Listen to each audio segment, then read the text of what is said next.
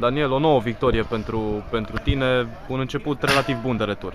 Da, sunt uh, foarte fericit uh, pentru această victorie muncită, sunt bucuros că am reușit să legăm trei victorii la rând.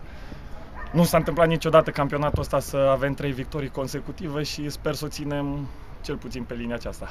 Cum a fost azi cu Dumbrăvița? Foarte greu, o echipă bună, chiar foarte bună, cred că e una dintre cele mai bune echipe din campionat după Poli și Ghiroda, probabil e cea mai bună. Însă ați văzut și voi, dacă muncim și ne dorim victoria, grupul poate să învingă jucătorii individuali. Ești mulțumit de elevii tăi? Da, sunt foarte mulțumit. Sunt, chiar dacă nu am practicat un joc ofensiv foarte bun, probabil unii spun că am făcut un antijoc. Important sunt cele trei puncte și că am câștigat, că am reușit să legăm trei victorii, că ușor, ușor am ieșit din zona periculoasă, să zic, zic așa.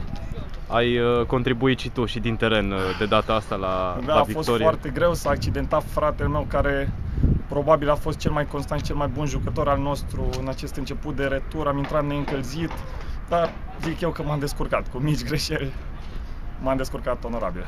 Care e secretul vostru după un tur de campionat uh, destul de nereușit, un, un început foarte bun? După cum s-a văzut și în afară de etapa de la Chișoda, în următoarele trei etape, o ambiție ieșită din comun, o dorință și multă răutate pozitivă în joc.